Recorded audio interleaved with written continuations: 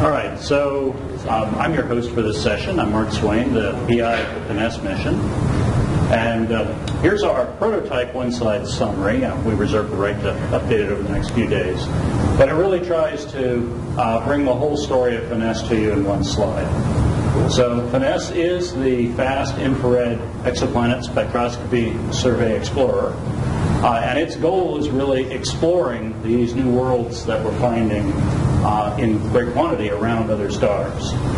Uh, Finesse is really the first mission concept which is dedicated uh, to characterizing um, in detail these, uh, this rapidly expanding family of exoplanets uh, that astronomers are discovering.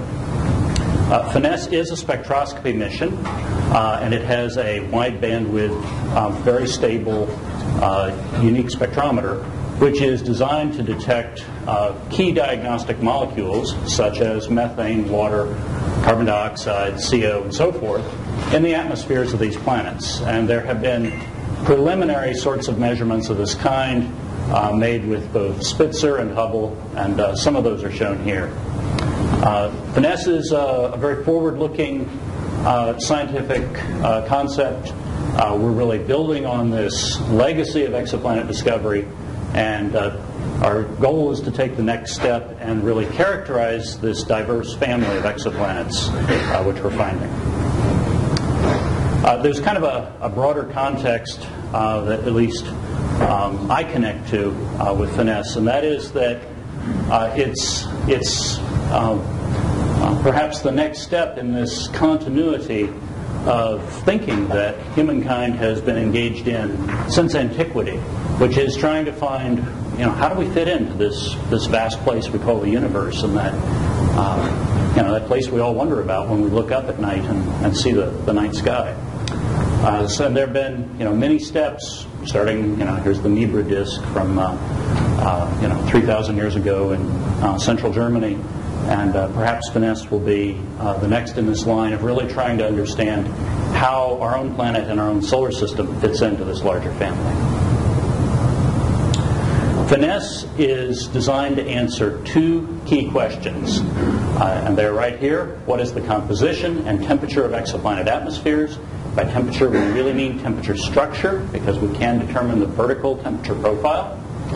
And how does this composition and temperature structure change from the night side to the day side? Uh, so, with these two questions, you can go many places scientifically. Uh, Finesse does this by surveying a large number of planets, again with this unique, broad spectral coverage, high stability spectrograph to identify and characterize the abundance of the molecules in exoplanet atmospheres. Uh, here are uh, just graphically represented some of the questions that you can connect to once you have a measurement of the uh, atmospheric composition and temperature structure, um, and we do resolve that uh, crudely around the, uh, the atmosphere of the planet from, again, from the day side to the night side. Uh, there are questions about uh, um, what is the influence of the parent star, atmospheric chemistry, atmospheric dynamics, global climate, greenhouse effects, planet evolution, star planet connection. Uh, this is a, a, fundamental starting point for really uh, what's going to be a potentially a grand exploration of many, many new worlds. The way we're going to make this measurement uh, is using transiting planets. Uh, here is a schematic representation of a transiting system. This is uh, called the primary eclipse. It's when the planet uh, goes in front of the uh, host star from our point of view. Uh, the light is shining through the planet's atmosphere. We then follow the phase curve. When the planet goes behind the star, we get a measurement of the day side as well. Uh, Finesse is really designed to follow this entire uh, cycle with spectroscopy. Uh, and here again are some preliminary science results uh, highlighting the role of Spitzer and Hubble as pathfinder uh, facilities in this type of exploration. So I'll stop there. Um,